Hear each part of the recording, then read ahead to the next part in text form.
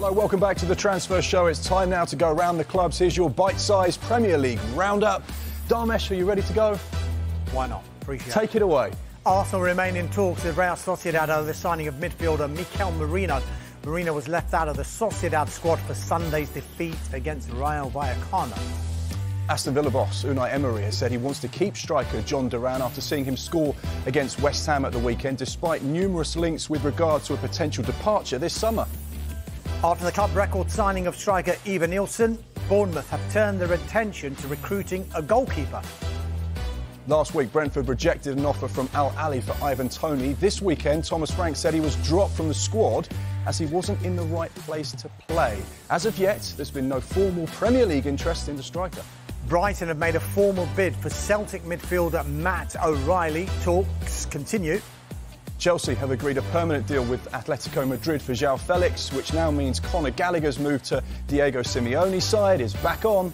Crystal Palace centre-back Joachim Andersen and Marc Guehi, the subject of bids from Fulham and Newcastle, both started at Brentford on Sunday. Everton are in talks with free agent Asmir Begovic over a potential return to the club. The 37 year old goalkeeper was at the Toffees between 2021 and 2023.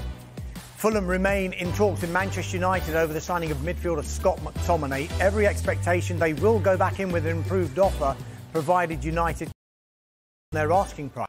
Ipswich have today signed Jens Cajuste from Napoli on loan with the option to buy. Leicester City have signed Oliver Skipp from Tottenham for a fee worth £25 million. Leicester played Tottenham in the Monday Night Football. Oh, we went early there. Liverpool youngster Bobby Clark is set for a medical at RB Salzburg. The Austrian club have agreed a £10 million deal that also includes a 17.5% sell-on clause. Salzburg are managed by Jurgen Klopp's former assistant at Liverpool, Pep Lijnders.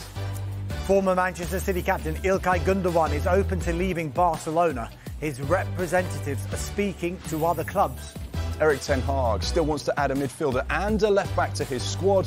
One player at the top of their list is Manuel Ugarte, but United are playing the waiting game with regard to any potential deal. Newcastle United still reviewing their next steps after seeing their fourth bid for Marc Guehi re- rejected by Crystal Palace last week.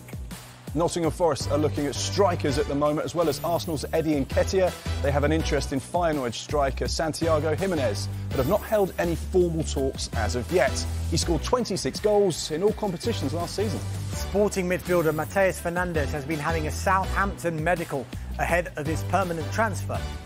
Oliver Skipp has said his emotional goodbyes to the club he had been at since the age of seven. Today he got confirmed as a Leicester City player. Tottenham still in the market though, but the next one they do may be late business as they look to strengthen their squad in midfield. West Ham United are in talks with PSG over the signing of midfielder Carlos Soler.